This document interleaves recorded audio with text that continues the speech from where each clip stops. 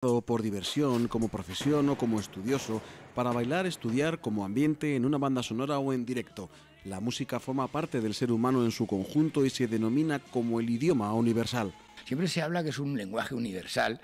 En cierta medida, yo creo que sí, porque todos podemos disfrutar de ella, pero no porque requiere un aprendizaje. Tú imagínate, pues los primeros eh, viajeros que llegaron a Oriente, la música que había allí les sonaba muy rara, igual que cuando fueron los primeros eh, castellanos y portugueses a América, no comprendían ese, eh, digamos, ese lenguaje que tenían musical. La fiesta ya internacionalizada supone la celebración de quienes tocan, como es el caso de los grupos de música. Decidimos mm, crear una un plan mini banda, pues para pasar un poco el, lo que es el rato. Nos íbamos al centro joven, tocábamos un rato de las dos, yo tocaba la guitarra, ya cantaba. Hacemos conciertos juntos, nos lo pasamos en grande, tanto antes del concierto, montando, después, tocando y de quienes escuchan o disfrutan de cualquier manera con ritmos y melodías. Además hay música y músicas para todos los momentos del día y para todas las inquietudes, personalidades, eh, sentimientos, sensaciones, si quieres relajarte, si quieres salir a bailar y disfrutar,